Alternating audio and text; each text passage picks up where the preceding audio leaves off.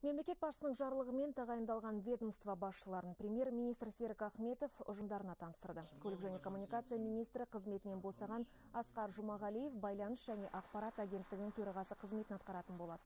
Үкімет басшысы Асқар Жұмағалиевке көлік және коммуникация министрі қызметінде атқарған жұмыстары үшін алғысын айтып, оның жоғары біліктілігі елбасының алға қойған мақсаттарын жүзеге асыруда және жаңа мемлекеттік органның жұмысын оперативті ұйымдастыруға көмектесетінін жеткізді.